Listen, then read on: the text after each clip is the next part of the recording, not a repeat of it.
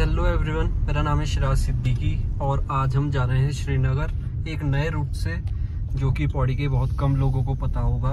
ये वाला रूट जाता है वाया सत्तिया खाल और आज हमारा व्हीकल है मारुति सुजुकी तोशिकी सियाज और ये है ड्राइवर हमारा। इसको हमने बुक करा है ड्राइवर को। पीछे हमारे है कार्तिक कन्नू और इधर काला कौवा मतलब सॉरी मिसमैच हो गया। ये हमारा रिहान और ये हमारा कार्तिक कन्नू। और ये ऐसी कुछ रोड है पतली सी।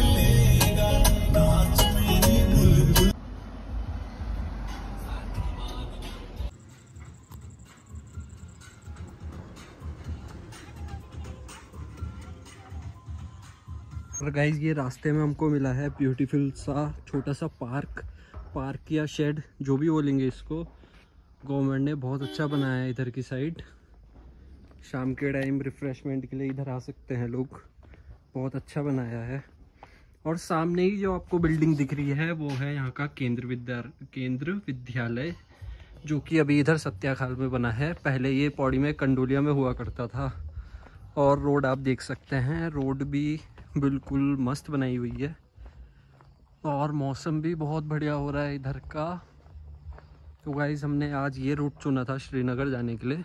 क्योंकि मेन रोड इज़ कॉमन वहाँ से तो सब जाया करते हैं तो हमने थोड़ा अलग सोचा है। और जो पीछे का आपको पहाड़ दिख रहा है, वो है हमारा पूरा पौड़ी शहर। तो गाइज़ हम चल दिए हैं, अब हम आगे। और पहुँचते हैं जल्दी जल्दी श्रीनगर। ये जगह है वो जो आपको दिख रही होगी। ये है केंद्र विद्यालय पौड़ी का। ओके गाइस चलते हैं हम आगे। और वो आगे खड़ी है हमारी सियाज जिसका भी आपने शॉट देखा होगा, जो कि बहुत प्यारा सा शॉट आया है। और गाड़ी भी अच्छी है हमारी। कुछ चलाने वाला नहीं पता कैसा है।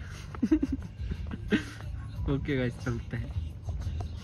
गाइस ये है केंद्र केंद्र विद्यालय, जिसको मैं आपको ऊपर से थोड़ा दूर से दिखा रहा था। अब हम स्कूल के बिल्कुल नीचे आ चुके हैं। और ये पहले कंडोलिया में हुआ करता था। अब इसको इधर शिफ्ट कर दिया गया है। और ये है रास्ता। जो कि यहाँ से श्रीनगर होगा थर्टी किलोमीटर्स। ओके गाइस चलते हैं आगे। रास्ता एंजॉय करते हुए। बट डर एक बात का ये जो हमारा ड्राइवर है ये आज ही सीखा है गाड़ी। ये जो ये ड्राइवर है। वो भी यूट्यूब से सीखा था ये। अब पता नहीं कैसे चलाएगा ये। गियर तो सीधा गेट तो सही डाल रहा है बस। पता नहीं से कुछ दिख रहा है या नहीं।